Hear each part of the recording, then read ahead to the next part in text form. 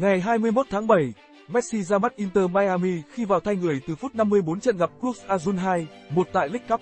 Ngay khi vào sân, tân binh người Argentina được hậu vệ Diandre Yedlin trao lại băng thủ quân. Messi sau đó lập siêu phẩm đá phạt ở phút bù thứ tư ấn định chiến thắng 2, 1 cho Inter Miami. Ngày 24 tháng 7, trong buổi họp báo trước trận Atlanta United ở lượt 2 bảng G-League Cup, huấn luyện viên Martino xác nhận Messi sẽ tiếp tục làm đội trưởng Inter Miami.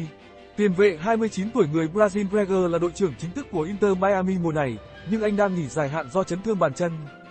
Ông Martino sau đó ca ngợi siêu phẩm đá phạt của tiền đạo đồng hương ngay trận ra mắt.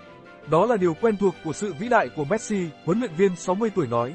Đó như thói quen của Messi, nhưng chúng ta cố gắng bình thường hóa những thứ bất thường. Dù vậy, tôi nghĩ nhiều người đã mường tượng về một tuyệt phẩm làm bàn của cậu ấy ngay từ khi trọng tài thổi phạt. Tân huấn luyện viên trưởng của Inter Miami cũng nhấn mạnh việc Messi và cả tiền vệ Sergio Busquets có thể đá chính hay không phụ thuộc vào việc bộ đôi này tập luyện lấy lại thể trạng tốt nhất.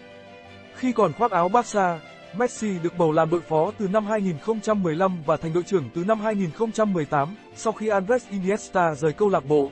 Ngôi sao Argentina là cầu thủ vĩ đại nhất lịch sử Barca, ghi 672 và kiến tạo 305 bàn qua 778 trận, đoạt 10 La Liga và 4 Champions League. Barca cũng là bệ phóng để Messi giành 7 quả bóng vàng. Ở cấp độ đội tuyển, Messi làm đội trưởng từ tháng 8 năm 2011, dẫn dắt Argentina đến 3 trận chung kết liên tiếp là World Cup 2014, Copa America 2015, 2016 nhưng đều thất bại.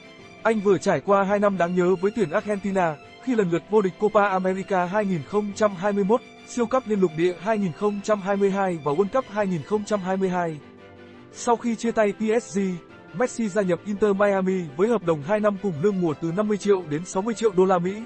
Tiền đạo 36 tuổi còn được trả một phần doanh thu từ những tài khoản thuê bao mới để xem MLS trên Apple TV, cũng như một phần mức tăng lợi nhuận của hãng đồ thể thao Adidas tại Mỹ.